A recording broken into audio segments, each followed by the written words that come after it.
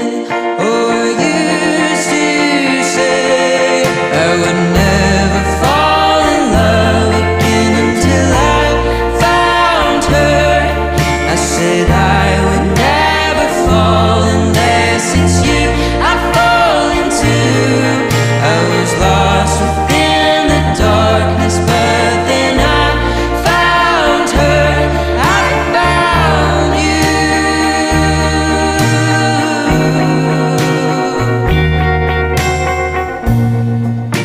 Georgia.